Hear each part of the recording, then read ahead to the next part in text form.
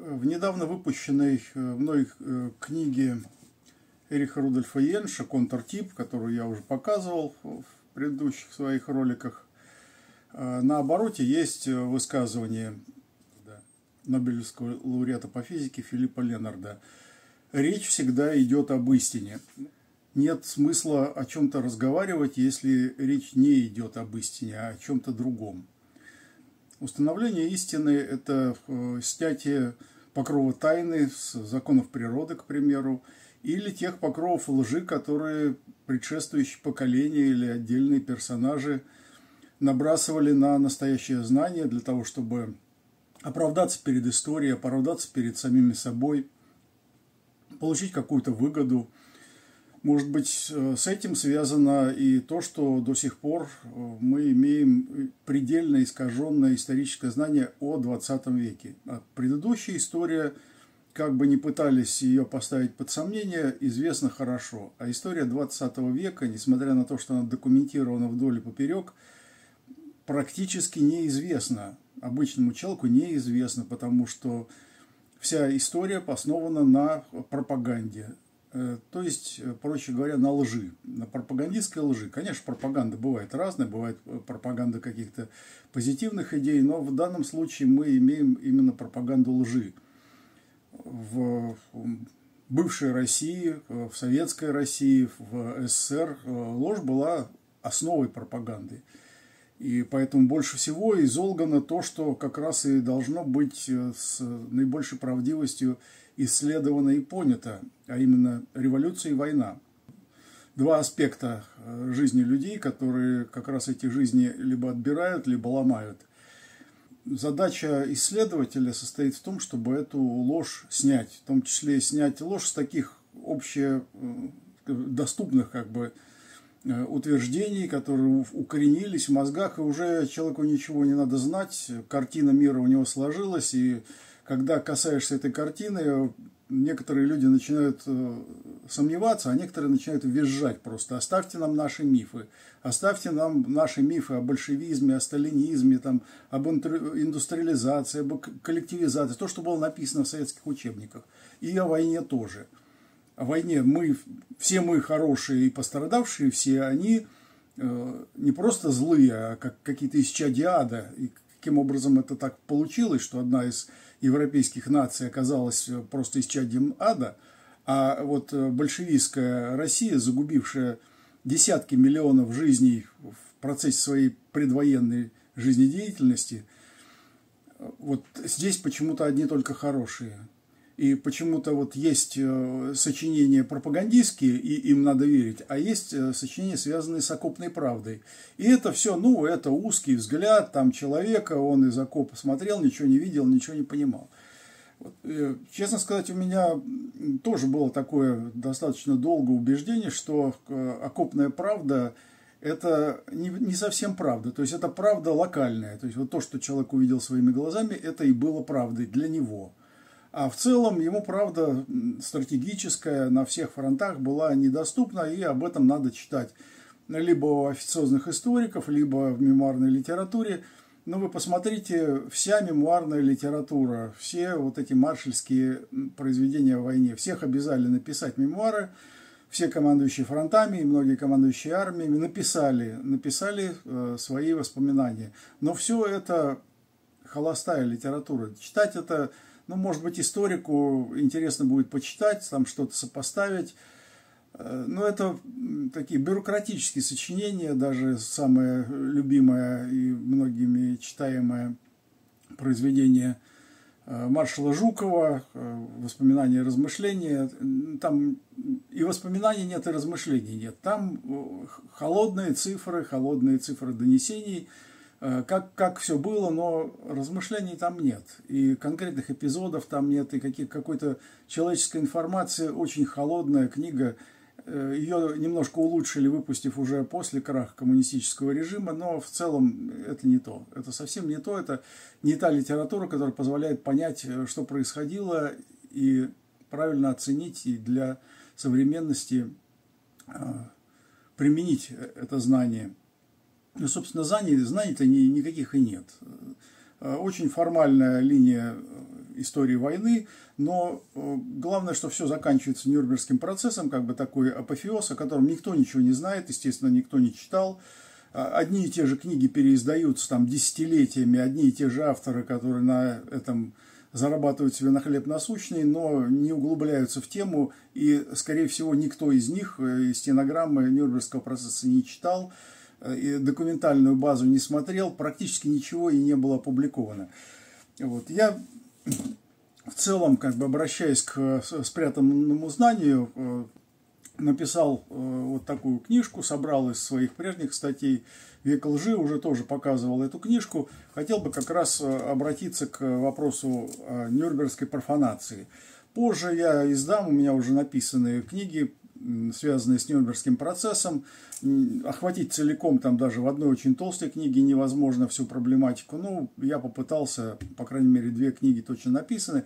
А здесь, в этой книжке, одна из статей, то есть он, она посвящена всему 20 веку, одна из статей о Нюрнбергской э, профанации – ну вот начало такое. Нюрнбергский процесс э, кажется громадным и подготовленным очень тщательно по процедуре и доказательной базе. Но это взгляд, сформированный десятилетиями пропаганды, который решал главную задачу – поставить точку не только в войне, но и вообще во всей истории до 1945 года, дав окончательную оценку всему с точки зрения большевистской идеологии, с одной стороны, а с другой стороны – с точки зрения доктрины общечеловеческих ценностей. Все сюжеты должны были при этом э, оцениваться совершенно идентично, хотя политический режим у победителей были разные. В действительности, времени на подготовку процесса, начавшегося 20 ноября 1945 года, в следующем году, кстати, 80-летие будет, я надеюсь, как раз и мои книжки к этому поспеют, э, практически не было. Ни один эпизод нарушения традиции войны не был расследован. Ни один. Процедура была заменена Нюрнбергским законодательством, когда суд сам себе присвоил право э, любое доказательство считать относимым и допустимым, а некоторые общеизвестные факты вообще не доказывать. Также и санкции за преступление не были определены, а суд объявил, что он может вынести любую санкцию за любое деяние, которое он признает преступным.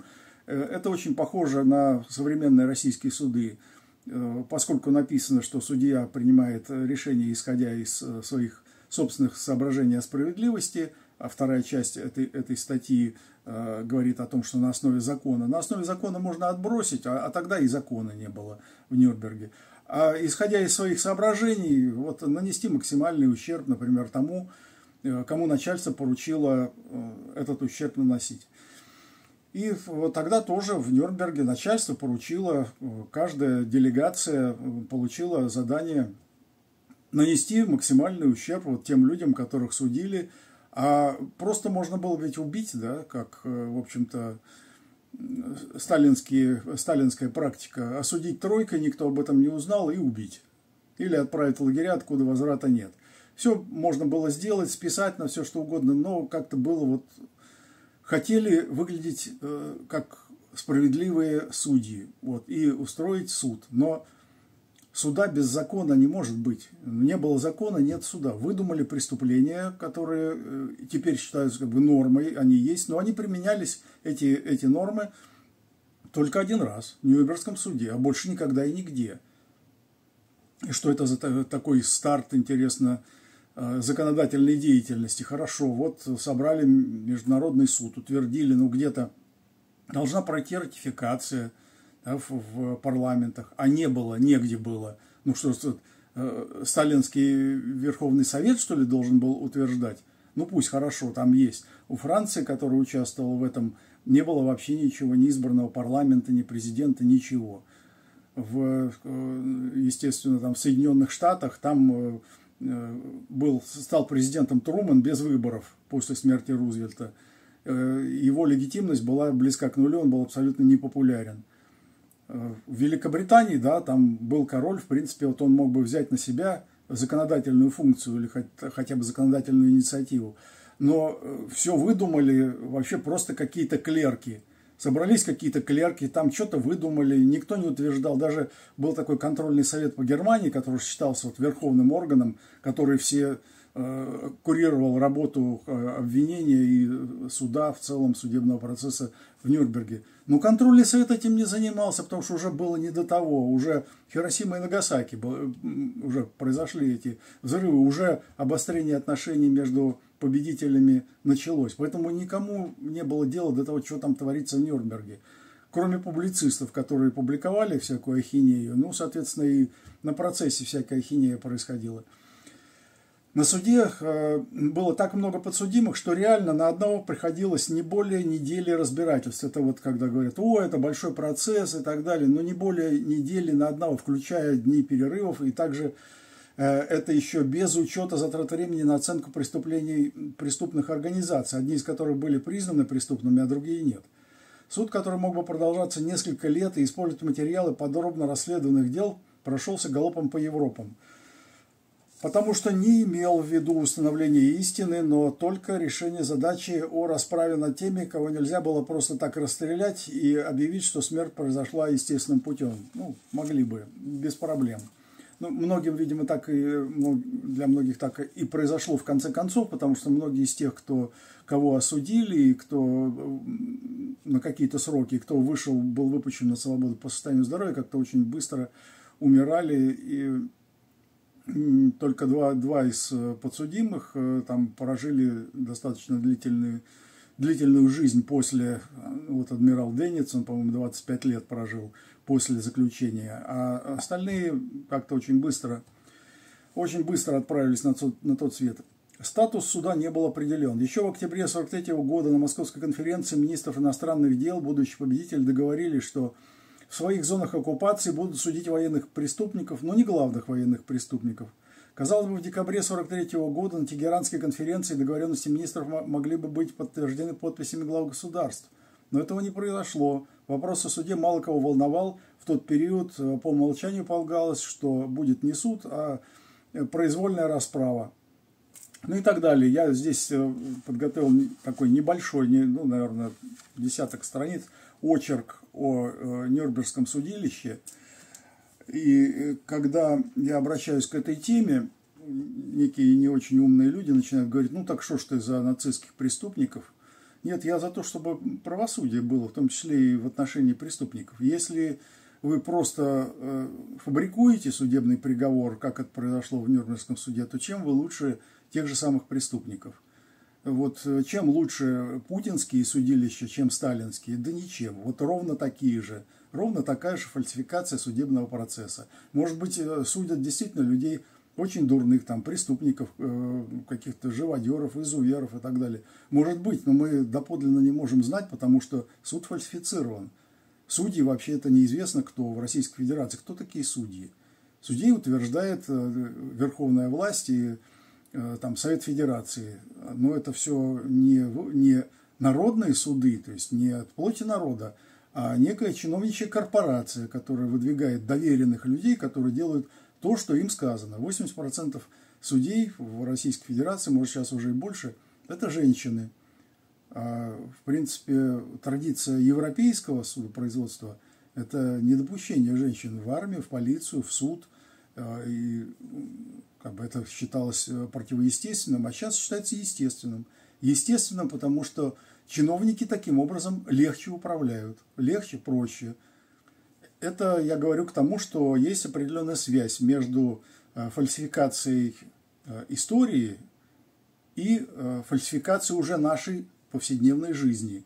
Ниточка протягивается, вот определенные стандарты заложил Нюрнбергский процесс фальсификации суда – и мы сегодня имеем, я не знаю, как там за рубежом, это могут рассказать те, кто там живет, а, а имея опыт э, российского прохождения российских процессов, э, прежде всего политизированных процессов, я могу с уверенностью сказать, что эта традиция фальсификации, вот она как бы э, сталинская фальсификация, она перетекла в Нюрнбергский процесс, который превратился в апофеоз, закрепивший определенную э, традицию проведения судов, и теперь мы имеем продолжение этой традиции. То же самое с деятельностью прокуроров. Сталинские прокуроры, вот эти изуверы, потом они, э, там, прокурор Руденко оказался главным обвинителем от СССР на Нюрнбергском процессе, потом он был генеральным прокурором 27 лет.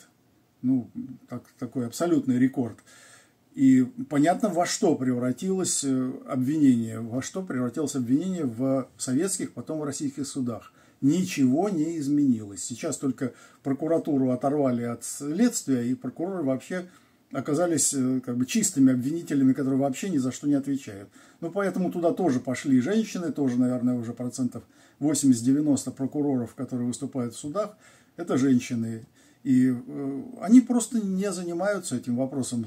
Следователь дал дело, прокурор его взял и повторил формулу обвинения. Больше ничего нет, никто ничего не доказывает. Вот как в Нюрнбергском процессе никаких доказательств нет. Вот одна документация, но документация вся который не может э, использоваться в суде, нет подписи, нет печати, нет идентификации, какие-то черновики, какие-то записки, неизвестно кого, никакой экспертизы, что это за документы, действительно ли это документы, или это какие-то наброски, превратились ли они в реальные дела, если по этим документам выпущены ли какие-то приказы, опрос свидетелей по поводу этих документов. Ничего нет, вообще просто ничего. Вот точно, точно так же выносятся приговоры в российских судах. Ничего нет, а приговор есть. Вот на пустом месте можно высосать из пальца все, что угодно. А доказательством считать то, что вообще не имеет отношения к делу. Вот как э, в суде по Екишеву Антонову, э, когда двух человек признали э, террористами, один руководитель террористической организации, а другой член террористической организации. И дали им громадные сроки просто без всяких доказательств, без единого доказательства. Вот, пожалуйста, вам Нюрнбергское правосудие в наши дни. И по э, зову сердца, по долгу чести я стараюсь находить такое вот скрытое знание. И э, вот эта книга «Контртип», которая вышла, это скрытое знание, это спрятанное, скрытое знание э, под соусом того, что проводили денацификацию, взяли, выбросили одного из ключевых авторов – 20 века, без которого ну, просто невозможно представлять э, ни историю психологии, ни историю философии. И нам удалось найти только одно упоминание в русскоязычной литературе, вот Эриха Рудольфа Йенша, э, в книжке, которая выходила сначала в 50-е, потом в 60-е годы, э, и был рецензентом по этой книге, наверное, крупнейший русский философ 20 века – Алексей Лосев. Э, и там коротенькая статья, буквально на две страницы, про Эриха Рудольфа Йенша. Э, там было, а потом все забылось. Ни, одна книга, ни одна работа, ничего не было переведено, естественно, на русский язык. Вот это первый перевод. Это первый перевод. А что касается таких э, конспективных заметок по истории 20 века и фальсификациям, это вот книга «Век лжи». И ту, и другую книгу я предлагаю э, своим читателям по электронной почте, которая в комментарии к этому ролику, как и ко всем остальным есть. Не все почему-то замечают и спрашивают, а как там с вами связаться, а как заказать книгу. Вот там есть, э, глаза немножко ниже, там есть э, несколько ссылок, ответы на вопросы, там, это, что это не только болтовня, а что делать. Вот что делать, там тоже ссылка есть. Ссылки есть, то есть все темы Э, которых я касаюсь, по крайней мере, они э, либо уже разработаны глубоко, либо разрабатываются. По ссылке на электронную почту мне напишите, и мы договоримся, я сообщу там цену, договоримся, как я перешлю по почте.